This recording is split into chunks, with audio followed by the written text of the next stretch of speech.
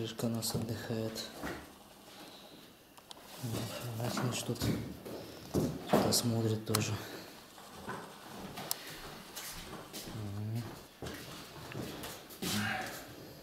Знаете, Иванович, у меня с утра есть свободное время. Мне вопрос к вам очень интересующий меня. Присядем, стоять охота, настоялся. Вчера приезжал человек, ну, скоро ролик выйдет про него. Он баллотируется в депутаты местного совета сельского, если не ошибаюсь. Районного, Мамонтовского. В общем, Да, был агитирует. И вот он приезжал, рассказывал себе, что за него, видать, мы тоже голосовали, за него были. Нам, как христианам, вообще, нужно ли ходить на выборы? Вы ходите сами на выборы? Есть ли Никогда это не какой-то прок ходить? Никогда. Хотя раньше выборы были одна кандидатура, то есть отменял, э, отпадало слово выбор. Кого выбирать, когда один? Одно блюдо. А вот сейчас можно выбирать. Их раньше было 60, а сейчас где-то 40 с чем-то будет. Ну, можно выбрать. На одно место они там несколько претендуют и прочее. Но я никогда не хожу, я понимаю, я ему это сказал, что изменить ничего нельзя. Так вот. Ладно. Но вообще за историю нашего человечества От Бога Ну, зависит. были преднастоящие правители христианские какие-то? Я сам об этом думал. Дело в том, что вот э, я неоднократно, сейчас что там служит полтора-два года, а в мое время 4 года во плоти было, 62 год. Ну и, конечно, 4 года, это очень заметно. Я бы учился, институт кончил, робщи где-то. Я никогда этим не занимался. Я с, с первого дня, вот сегодня меня взяли, еще меня не постригли, не еще, я уже начинаю заниматься. У меня программа. В это время я занимался э, английским языком самостоятельно. В это время вышел на разговорный язык по-немецки и сразу занялся. И дальше будет, посещаю даже в армии, там курсы были подготовки в университет. Я готовился в Институт международных отношений. Э, Это не терять время. И занялся изучением политических систем мира, доступных ну, в литературе где-то. Я понимал, это не, пол, полное, но все-таки. Это было известно очень далеко. Суждения мои принимали во внимание. И когда началась перестройка, и нужно было думать, как назвать это. Российская Федерация, это не просто так. Флаг какой, герб какой. И там группа людей, журналисты собрались, и в депутаты, как баллотироваться, выбрали меня. И пришли ко мне на дом. Это Русаков Константин Владимирович, очень активный человек. Выдвигали главное, что я знаю, что такое ГУЛАГ по сегодняшним меркам. Вот. А отношение мое к коммунизму нетерпимое просто. Никак. То есть это изверги рода человеческого, а он именно такой. А я перед этим сон как раз увидел, как я взбираюсь по стене, а внизу койка не прикрытая, совершенно голая, я могу упасть. Как ласточкины гнезда где-то там едят они из одной слюны ласточкины, и они разбиваются, достают пещеры там по 30 метров высоты. Это такой, и, я во сне думаю, куда я лезу, зачем лезу, а меня побуждает кто-то. Я спустился медленно-медленно, и я им отказывал. А как так, да вот на вас, вот были кандидаты какие там, за одного 10, другого 15, а за вас все редакции, где мы были, предлагали, и в милиции вас знают, вы на слуху везде абсолютно, и в прокуратуре, и в судах, вы ведете занятия, против вас статьи печатают, сами в каждой газете почти ваши статьи, то есть на столбах объявления и прочее, ну, более подходящие кандидатуры мы не нашли. Вот он ее предложил, и все сто процентов за вас голосуют. Вот когда выбирали кандидатов на епископа, там голосовали за и против. А отца Акима, когда предложили, все до одного епископа за. За, то есть за него против ничего нету. Ну и за мной ничего не числилось, тем более еще все в горячах было. Но какая система должна быть? Вот какой курс взять сегодня? Ни одной партии, единой партии, этого ничего не было. Я говорю, ни одной системы нет, которая для России подходит. Но если будет хороший, честный патриотический к стране, к земной даже правитель, то это среднее между Манила, Филиппины и Швеция. Вот это взять надо. Я оттуда взять что-то и отсюда. То есть я лучше нигде не нашел. Ну, учитывая условия, материальная вот это наша нищета, все вот это беря во внимание. Лучшим правителем выводить страну из кризиса за самый короткий срок, сделать ее великой страной мог только Гитлер, больше таких не было. Никого. А Адольф Шикельгрубер.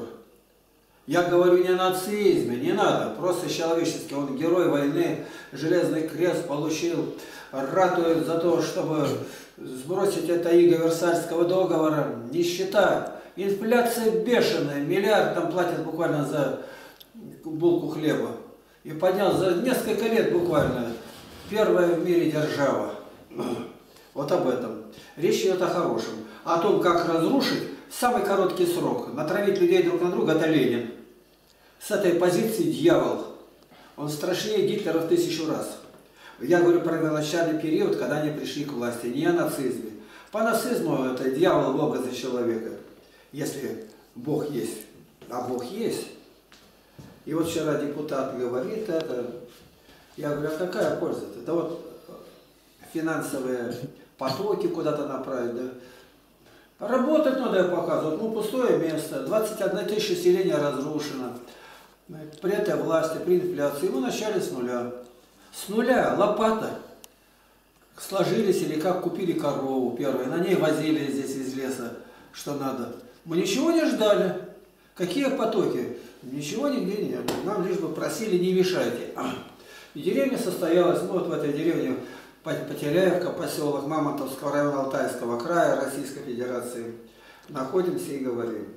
Я много, не один, не два дня, темой масонства я занимался 14 лет.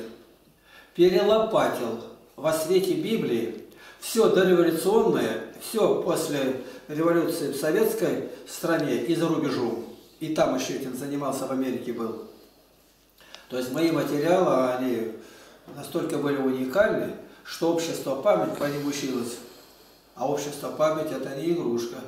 Там Дим, Дим, это Дмитрий Дмитриевич Васильев был. И вот какие правители. Если вы зарядите в интернет, то 10 лучших правителей за 100 лет или за тысячу лет. И перечисляют Вильгельмы, Фридрихи, Гаусбурги разные. Ну, это так. Русский не попадает туда. Русский правитель ни один не попал. Тогда спрашивают, а, а преобразователи были же такие великие воины, вели, как Петр I, вот, Бонапарт, Наполеон. А кто из них умнее? Конечно, Наполеон. Тут даже сравнивать не, не, нечего. Этот э, губитель России погубил, а тот вывел ее в передовые страны. А тот вывел, куда он ее вывел? Окно в Европу прорубил. И туда все вывалилось. Реформы какие, сына не пощадил, убил. Они все жестокие правители, но с Наполеоном не приходится никого сравнивать. Это самая великая фигура Европы, может быть, за последние 500 лет. Но мы это говорим о христианстве. Я сразу ставлю вопрос, почему Павел просил Тимофея, что молились за царей начальствующих, вторая глава 1 Тимофею, за царей начальствующих, но не мы за них молиться, но не выбирать. А какой царь-то? А он когда писал это, попадал в южные страны, Эфиопы, вы за своего, а я за своего. Как Николай Японский колонизирует Касаткин. Война с Японией началась в 1905 году. Он вышел в пастве и сказал, молитесь за победу японского оружия. То есть совершенно не патриот. И, а сам ушел, закрылся в другую комнату. И, конечно, он молился о победе русского оружия. Это несомненно. Но молитва японцев показалась сильнее. Россия была со флотом своим отброшена назад, многое потеряла. Так вот, правители христианские, я не говорю, чтобы православные обязательно были, э, не было за 2000 лет ни одного. А почему? А я говорю вам, все строится на насилии. Как Наполеон говорит, кто не хочет кормить свою армию, будет кормить чужую. Ой, как сказал хорошо. Да ее не надо кормить, она сама добудет и отберет. Кормить, что я, с ложечки кормить? Ну, Сердюков кормил Васильеву.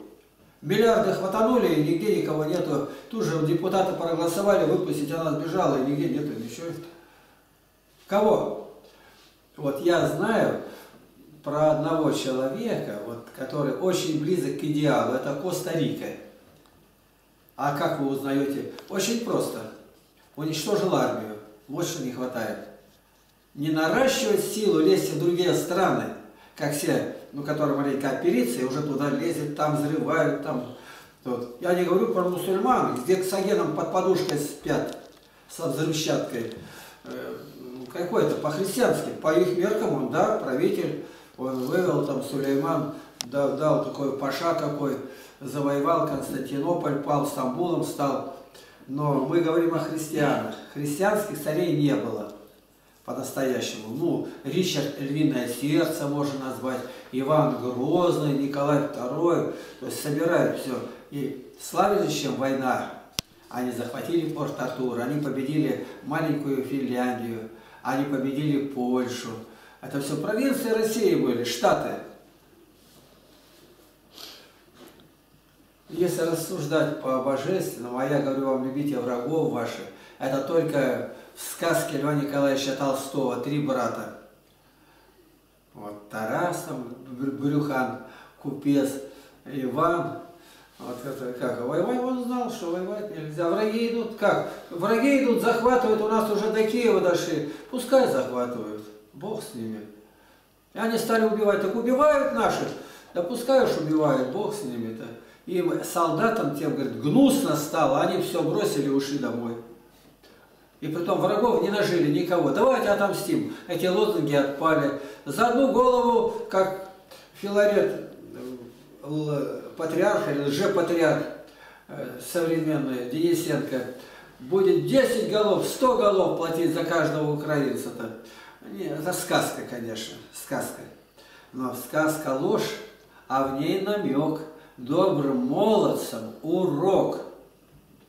Коста-Рика приняла решение, и армию распустили, а средства-то громадные идут туда. Он все бросил на медицину и на образование. Бесплатно, студенты радостные. Какое поколение еще в армии ни одного не было. Полицию оставил, чтобы смотрели за преступниками, порядок на дороге. Вообще, вокруг полыхают войны с севера, с юга там, а его никто не трогает. А он почему, а как с ним воевать? У него армии, говорит, нету. А за него заступится там Америка или еще кто. Никак. Ну, допустим, где деньги хранить? Ну, такой, чтобы непобедимый был, дал ему, чтобы у него отнять не могли. И люди ничего не придумали, как туда, где нет армии, где Швейцария. Какая у нее армия-то, кто назови? И все банки мира, и Гитлер там хранил, и советские все сейчас олигархи, и сколько лет, и Наполеона, и Удучий сын не может э, Муссолини снять счета где? А там никто не воюет, и туда все прятались. И туда Советский Союз обошел вокруг, Гитлер их вокруг обошел, и никого нет. Никого нет, все исчезли, она как стояла в горах, так и стоит. Швейцарские часы, швейцарский сыр. Они тоже маленько работают. Но получить там жительство, конечно, непросто. А какой же там правитель? Ну, ясно дело, что ни масона не поставят. Они все в галстуках. Я, я вчера спросил, а почему в галстуке, а почему расстегнуты? Вот он не, не знает или не. Это все масонское дело. Правители ничего не сделают, Думу набрали, получают. Я говорю, Лужкова отправили на пенсию. Вот какую пенсию дали? Ну, наверное, 250. Я говорю, 253. Почти точно сказал. 253 тысячи в месяц. Пенсия. Ну, значит, до этого миллиона получал. Батурина, жена, чья, спросите Елену, самая богатая женщина в Российской Федерации. То есть все делали в офшорно, переводят, и взять их нельзя. Это правители, самые хорошие. Я горжусь нашим президентом часто, наша страна великая. Я не горжусь, гордость непохвальное качество. Молитесь о правителе, чтобы Бог их вразумил, сохранил от покушения на них. И вот он вчера был, я ему объяснил, мы не ходим, нам это не надо и не верим. Я говорю, вы знаете Рыжкова такой Владимир? Конечно. Ну вот он сколько лет, там и в Думе был, а сейчас против Путина, там общество Парнас, партия образовал, то есть насмешник. Я говорю, обмылки банные. сколько раз к нему обращались за помощью, никогда не помог. Ни, ни копейки, нигде никак. Коршунов там помог, Суриков вот поставил печать пятерярку поставил, тот нигде и никак.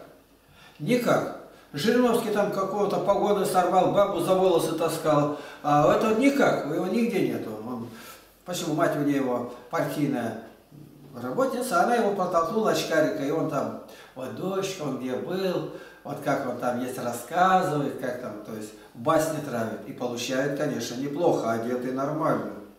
Его сюда надо. Это у Игоря вчера смотрели, это не дровокол, дроворез. Его правильно назвать, он не, не колет, он режет.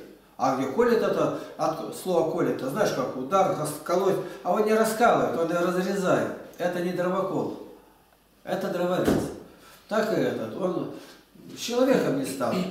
Ему разница какая политическая система, лишь бы не работать и жрать до отвала.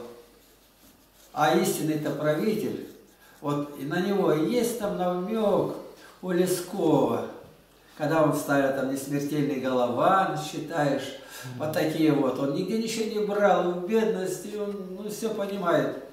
И он там говорит о Саблере, как к нему министры пришли, там эти генералы прихожие, но ее слово спрашивает, как? Сейчас Акафист Богородицы считает. Проходит время, так уже время 10 часов. Сейчас канон ангелу-хранителю досчитает и выйдет к вам. Выходит, сразу все разрешил, и дело идет у него как надо. Почему? Они пока сидели, а ты откуда, я туда. Так я по этому делу. Я технику не могу сбыть, а мне как раз нужна. Пока он молился, они между собой там уже в прием это все сговорились. Он выходит, благодарю вас. Я рад, что вы решили. Откуда вы знаете? Да и полиция видно, вы такие счастливые, что нашли друг друга. Ты хороший, этот тоже. Я знаю, вы взятки не берете. Идите, дружите. Все. Правитель должен быть рабом Бога живого, а они не такие. Он должен жить в молитве, а это невозможно. Вот меня спрашивали, ну, раз я вел много занятий, я скажу, что ну, более востребовано для проповеди, чем на меня была ставка, не было, не было завода ни одного, техникума, школы, милиция, прокуратуры, тюрьмы воинские части, все охватывал. Вот. И я скажу, что народ такой, что его неуправляемый народ. Этот народ требует жесткого управления. И поэтому христианин таким быть не может. Никак. Он сразу должен усилить репрессивный аппарат. Но сейчас бы был Сталин, этого не было, был бы Сталин, и репрессия, перемолотые судьбы миллионов убитых. Это и не касается сегодня. Главное, чтобы сегодня была жратва до отвала, и не, не было взрывов, и Чечня была под ногами у нас, топтать ее и прочее. Поэтому выбирать некого. Я еще в армии был, не веря Евангелие. И когда зашел туда, в кабинку, а там надо подойти, бросить как шторка. Я взял заранее ручку, зашел и надо же быстро положить и выйти. Я быстренько-быстренько написал, это не выбор, а обман, и бросил. А потом ждал, придут, не придут. Армия, а я печатными буквами там. То есть вот уже где протест заявлял. Но они посмотрели, надо же, кто солдат? То по почерку узнать, да? Выбросьте, возиться с ним. Тем более ракетные войска были, скажет, в ваши ряды пробрался враг. Тут понятно. Ну и вот так. И меня когда спрашивали, я был востребован, ну вот вы знаете церковные дела более всего, э, подсказываете епископам. Вот пришел епископ, мы обедаем вместе, у меня Антоний Масендич был, там благочинный, это тайна, тайна. Приезжали с других епархий. Я говорю, в Москву приехал, ночью тайно, три епископа пришли, разрешить там свои вопросы. Понятно, что я не на самом дне был.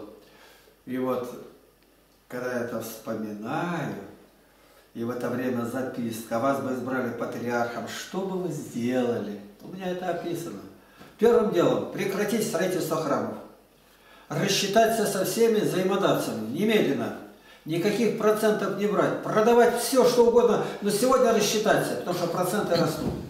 А эти деньги бросить вот на издание Нового Завета по благословению патриарха Кирилла. Ну, я не ручаюсь, что именно так и есть по благословению патриарха Кирилла. Ну так написано.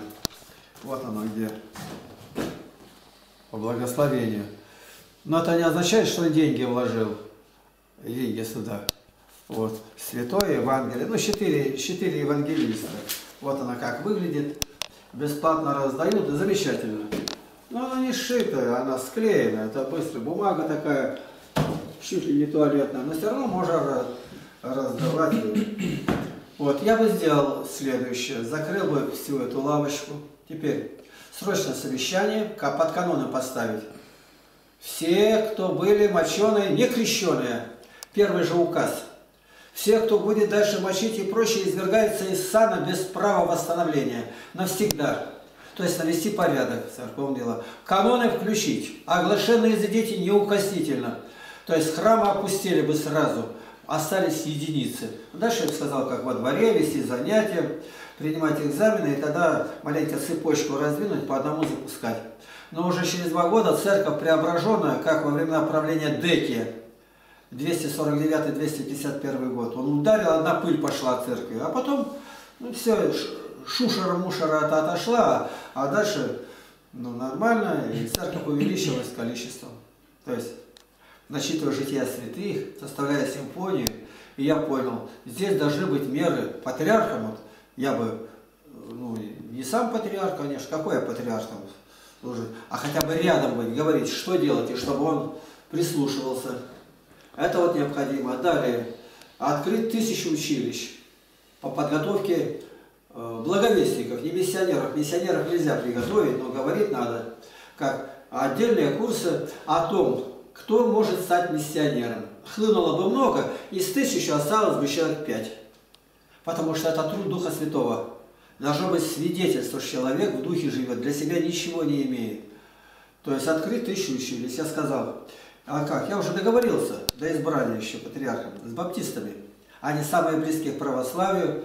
С ними договорился не трогать православную догматику, не обрядность, а проповедовать о любви к Богу, любви к Библии. Все. Пойдете, мне подняли руки пять тысяч. Я говорю, тысяча пока нужно, остальные на следующей неделе. Вот где как. Сразу открывать по домам где угодно, ежедневно собирались по домам. Обстановку в церкви можно изменить в течение одного месяца. Они ничего не делают.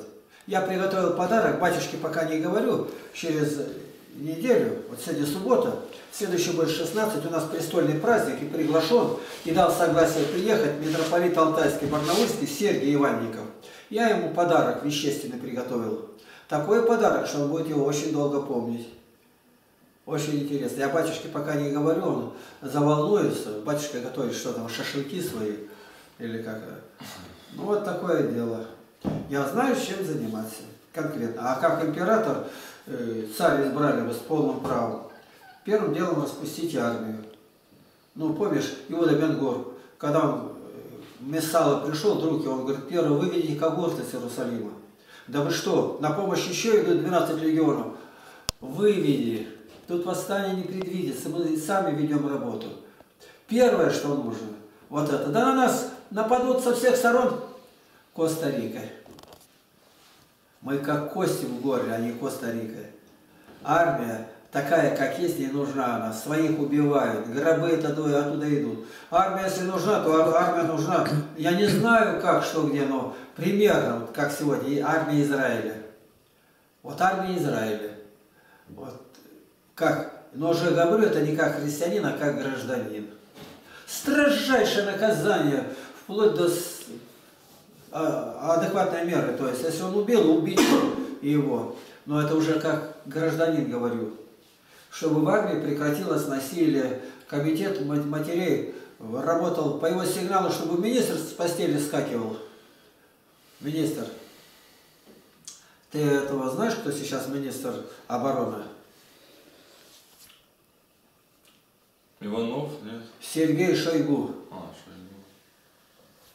И он величает его, там Жигурдунович, там и не выговоришь какой, но он есть, он все выполняет. Был когда-то министром по МЧС, а сейчас здесь. Сразу же присвоили ему звание, армии, там, маршала-то сейчас не присваивают. Вот такое дело. Поэтому ну, мы вначале говорили с депутатов, не будет депутатов. Я ему напомнил про одного Томского, я мог бы узнать его фамилию, он чуть ли не на коляске.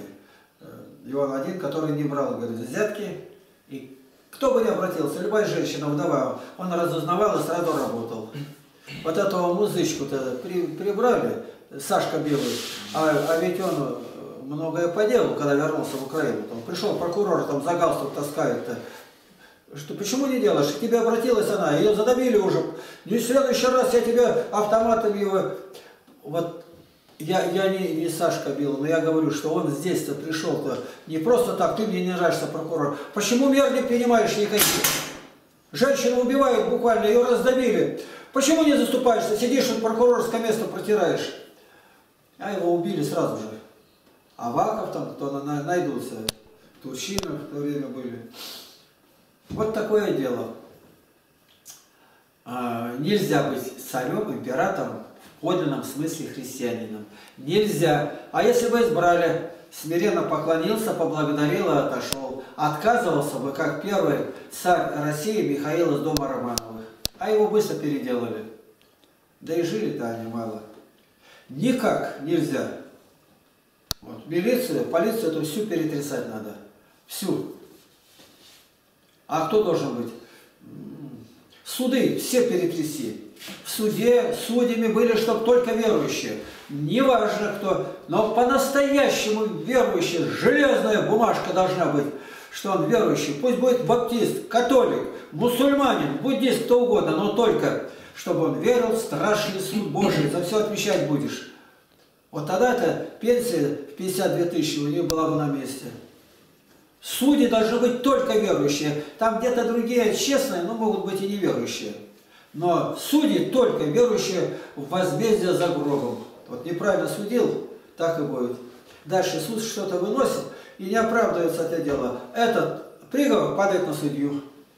Это 19.19 .19, второзаконие. Вот какие бы я меры мог бы принять? Ну и первый указ, который по стране, срубить до единого все лежащие полицейские.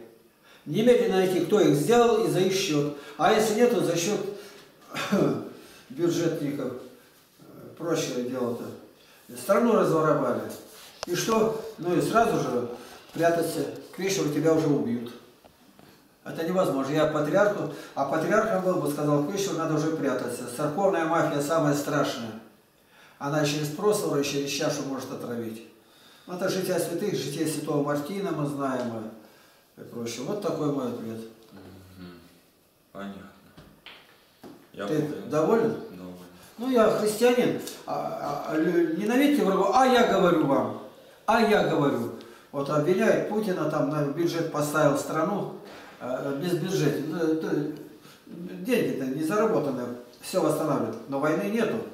Войны нету. Война каждый день пожирала средства там в Чечне. Я считал, сколько. Ужас один. Ну, Лебедь сделал так, что тогда время было замерения, Косовюрки, где они там собрались. Поэтому нам нужно работать, плодиться и размножаться. Так, пошли дрова колоть, убирать. Благодарю за вопрос.